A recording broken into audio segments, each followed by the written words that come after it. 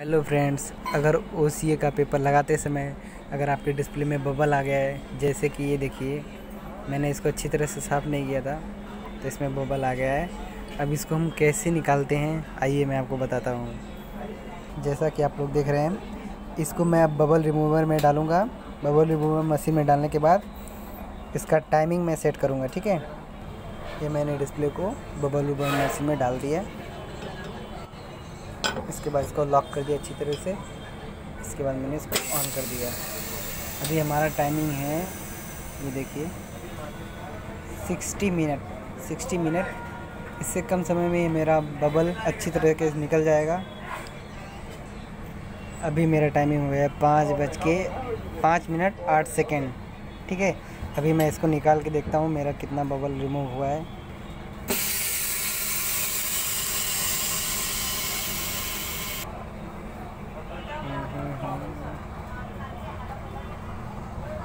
ये देखिए, हल्का हल्का सा और बचा है।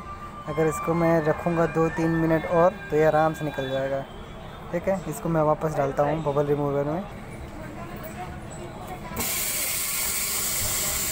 जैसा कि आप लोग देख रहे हैं, ये देखिए बबल में तीन बार डालने के बाद, आठ मिनट के बाद पूरी तरह से इसमें से बबल निकल गया है। अब इसके ऊपर हम आसानी से ग्लास लगा सकते हैं और हमारा परफेक्ट कॉम्बो बनेगा इससे।